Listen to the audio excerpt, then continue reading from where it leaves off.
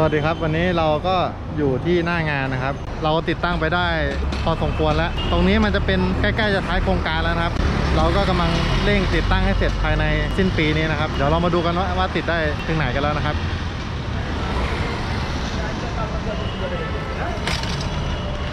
ก็ตรงนี้มันก็จะเป็นเกือบถึงสถานีสุดท้ายแล้วครับ ตรงนั้นก็จะเป็นสถานีสุดท้ายแล้วครับ ที่จะ สิ้นสุดโครงการรถไฟฟ้าของสายนี้นะครับ สายนี้จะเป็นรถไฟฟ้าสายที่ 6 นะครับ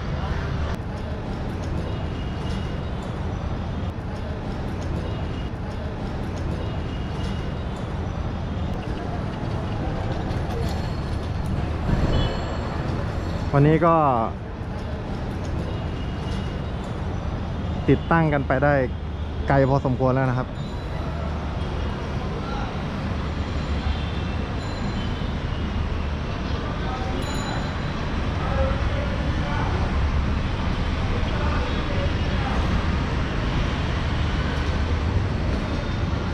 ตรงนี้ก็จะเป็น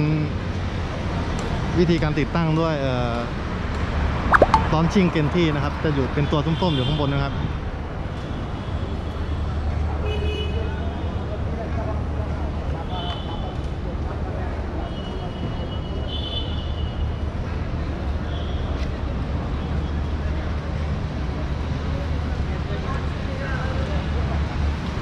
ก็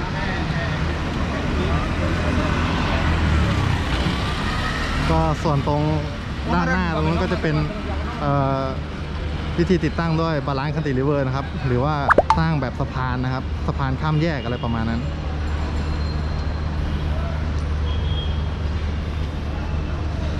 งานของเราจะอยู่ข้างหน้านะครับ ก็เป็น balance cantilever นะครับ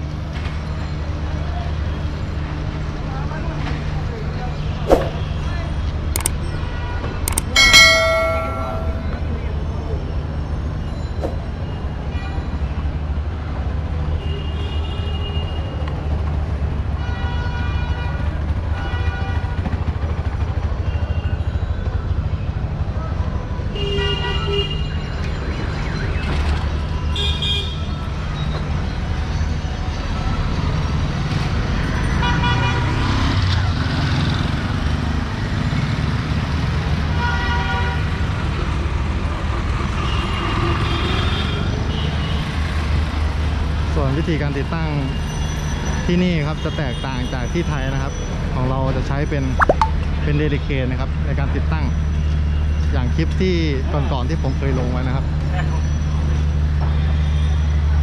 ซึ่งจะแตกต่างจากที่ไทยนะครับ ที่ไทยเขาจะใช้เป็นวิธีการหล่อในที่นะครับ ก็จะใช้มันจะใช้เวลาในการติดตั้งเนี่ยนานนะครับ แต่ที่เนี่ยจะติดตั้งด้วยแบบซิกเมนต์นะครับ จะเร็วกว่าที่ไทยพอสมควรเลยครับ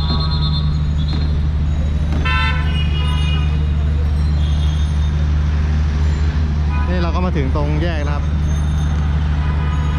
กลางแยกแล้ว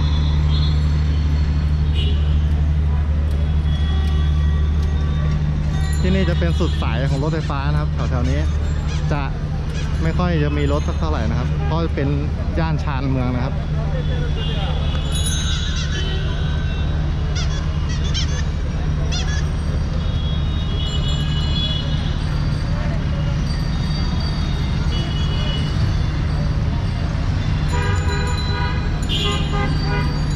เคครับเดี๋ยวเราเดี๋ยวเราขึ้นไปดูด้านบนของเซกเมนต์กันนะครับ ว่าจะเป็นยังไงบรรยากาศด้านบนนะครับ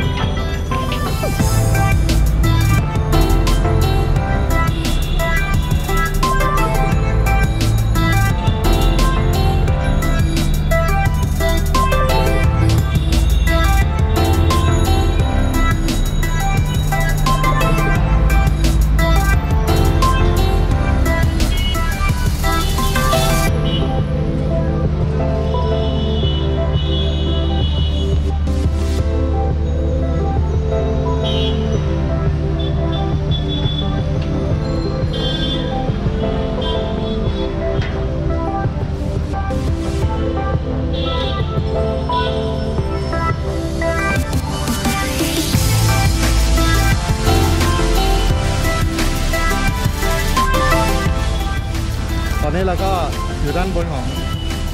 เซกเมนต์แล้วนะครับ ก็ค่อนข้างที่จะร้อนครับวันนี้เดี๋ยวเราไปดูทางด้านสี่แยกนะครับ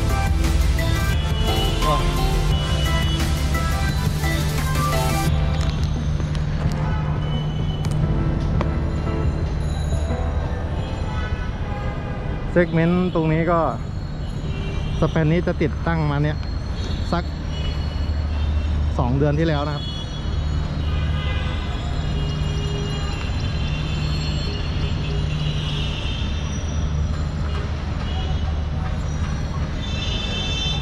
ดูบรรยากาศตรงแยกนะครับ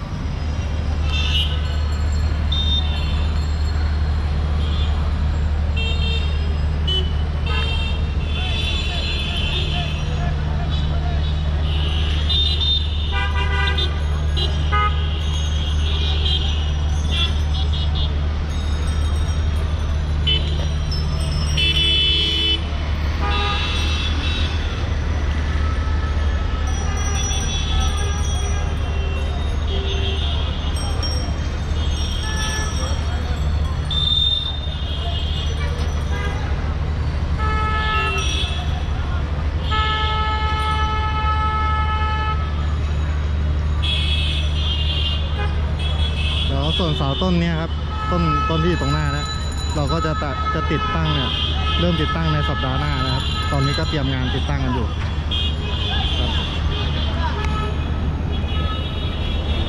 ส่วนฝั่งทางด้านโน้นครับ ยังเป็นตัวลอนชิ่งเต็มที่ครับ หรือตัว LG นะครับก็ยังยังไม่ได้รื้อนะครับฝั่งนู้น ซึ่งติดตั้งเสร็จแล้วครับ ก็รอรอที่จะยกลงครับ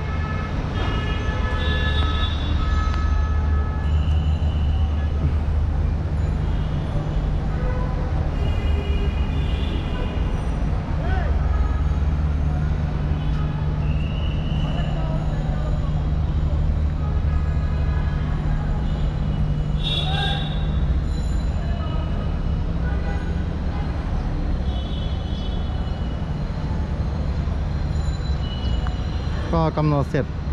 ของงานตรงนี้นะครับ ก็สักประมาณกลางปีหน้านะครับ รถไฟต้องวิ่งได้ ตามแผนเขาประมาณนั้นนะครับ